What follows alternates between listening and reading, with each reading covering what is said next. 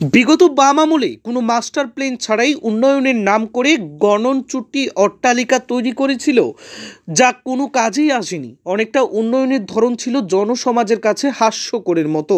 এমনই এক ঘটনা ঘটেছিল তেলিয়ামুড়াতে। ঘটনার বিবরণে জানা যায়, বিগত বাম আমলে মহকুমা পুলিশ আধিকারিক কার্যালয় সংলগ্ন জাতীয় সড়কের পাশে রাজ্য সরকারের কোষাগারের অর্থ ব্যয় করে বর্মুরা ট্যুরিস্ট লজ নামে একটি সুবিশাল অট্টালিকা তৈরি করেছিল তৎকালীন সময়ে, যা টুরিস্ট যাত্রীদের ক্ষেত্রে কোনো কাজেই আসেনি।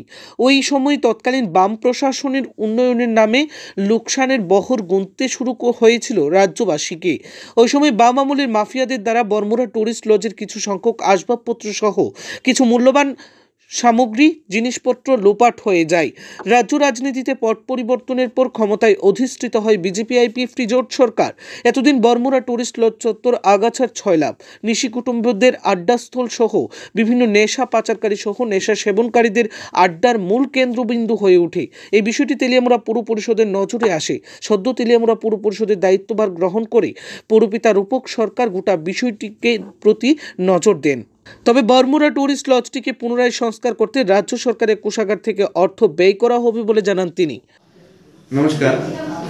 গত ছাব্বিশে জানুয়ারি, সেই প্রজাতন্ত্র দিবসের মুহূর্তি দিনে আমি এবং আমাদের সম্মানীয় বিধায়িকা, আমাদের ডেপুটি সিউ সাহ এবং আমাদের ভাইস চেয়ারপারসন সহ আমরা তে- আমরা বর্মরা লজটি ভিজিট করতে গিয়েছিলাম।